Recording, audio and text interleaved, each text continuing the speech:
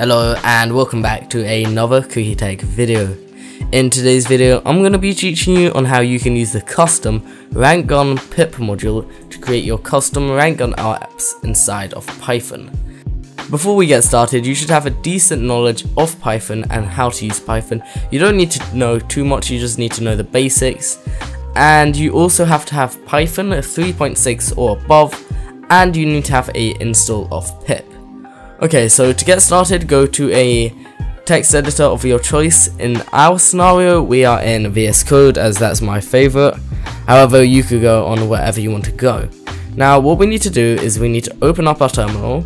In VS Code, you can just click on terminal and then new terminal, and we're going to have to use pip to install the RankGun package. Okay, so if we have a look at our RankGun docs, it shows us how we can install RankGun. So let's refresh the page here and it says pip install RankGun and then it loads it in and successfully installed RankGun.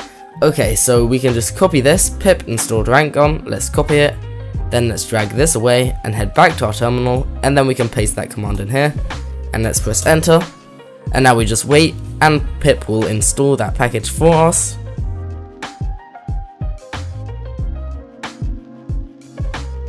Okay, and now everything seems to be installed. Yep, successfully installed RankGun 1.0 or 1.01. Next, we're going to have to create a Python file. And back on our docs, we have a boilerplate that is super handy if we want to get started. So let's head to usage. And as you can see, get ready to start developing with RankGun in Python. Remember, the only limit is your imagination. So here we can see first request. Time to make your first project. Let's go on to making something in Python. Yada yada yada yada, all, all the way through here. Okay, so let's just head to the boilerplate, which we can do by clicking on this.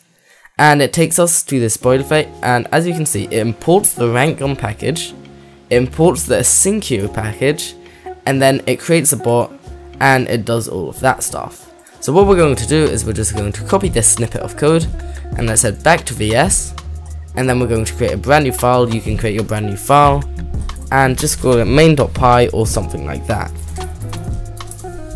okay and then we just need to paste our snippet of code in here. Now I'm going to add a new line right here and there we go it's a bit more nicely formatted. So as you can see it has user password and type and now we need to fill out these fields. So if you remember you must have followed the first tutorial to be able to follow this tutorial. And if you remember, we did set up our bot on the RankGun server. So what I need you to do is I need you to head over to the RankGun Discord server and then we're going to run a few commands there. Okay, so here we are inside of the RankGun Discord server and now what we need to do is we need to say slash reconfigure. Then we run that. And as you can see what would you like to do next? We're just going to click on credentials and then all we need is this.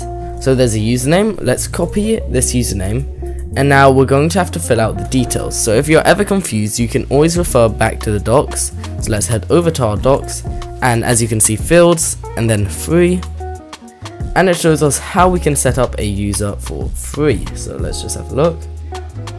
Okay, and we just put the user, the password, and then the free.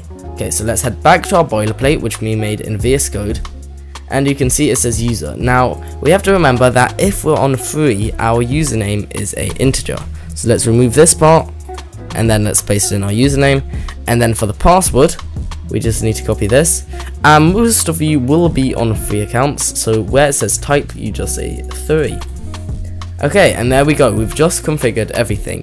Now be careful where you're sharing this app, because if you do share those credentials with anybody, they could use your bot and use it for bad, which we do not want. And then here it says tasks here. So this is where we're going to make our Python app do things. If you're using this for Discord bot or anything like that, this will be super handy as it is in Asyncio. So what you can do is you can just say await and then what you want to do. So all you'd have to do is import it and then you could do all of that gibberish. But here we're just doing it inside of a Python file with no other frameworks. And all we have to do is have this line which will run everything inside of here. So if we head back to our docs, we have a couple of things we can do. Here are all the classes.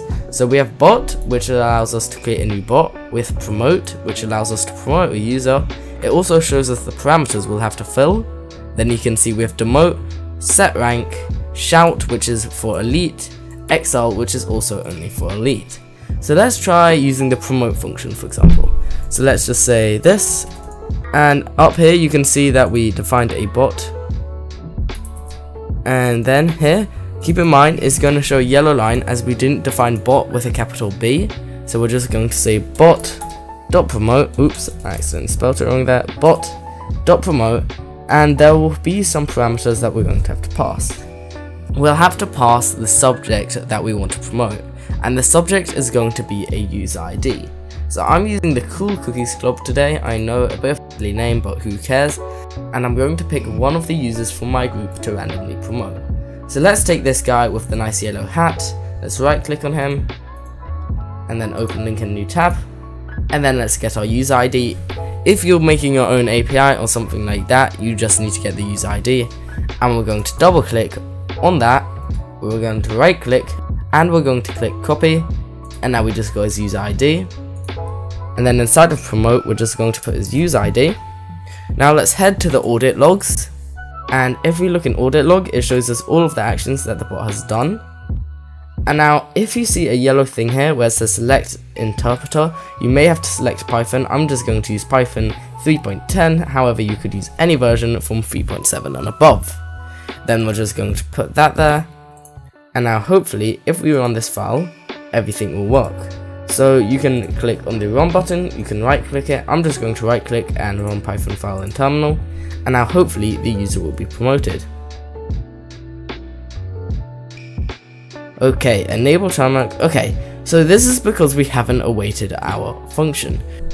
If you see this error is going to be super simple, just always check the last line of errors in Python, they're normally the most useful, and all we need to say is await, it will turn blue, and then let's try running that again.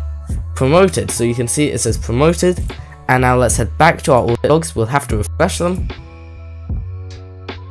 And as you can see, the user was promoted from a cookie fan to a super cookie fan. Okay, that's super cool, we're gonna try a few of the other functions. And next we're gonna try the demote function. So instead of having await bot.promote and then the user ID, let's try await bot.demote. Okay, so if we're unsure what the function is, we simply need to head to our docs, and as you can see, all we need to say is bot.demote. Okay, so let's head back to our docs, and then instead of having promote, have demo. Okay, now let's try running that file. This time, let's try clicking on the play button and then let's wait a second and so now let's have another look at our audit logs. So here was when the user was promoted and then if we refresh the page, here was when the user was demoted.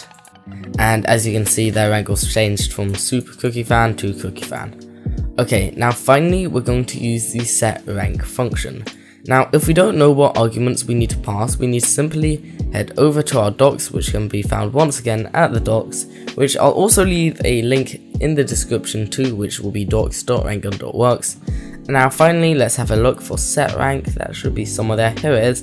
And we just need to pass the subject, which is a integer, and then the rank, which is an integer. So let's have a look at all of our ranks inside Roblox. As you can see, we have a let's just head over to roles. We have a cookie fan role, which is rank 1, super cookie fan, which is rank 2, head admin, which is rank 4, and then friends, which I presume is rank 222. Okay, and what we're going to do is we're just going to promote that user to developer, which is rank 3. And then let's click on comma, and then let's say 3. Now let's just replace that with set rank and now if we run this, everything should be working. So run python file in terminal, let's give it a second, and hopefully rank set.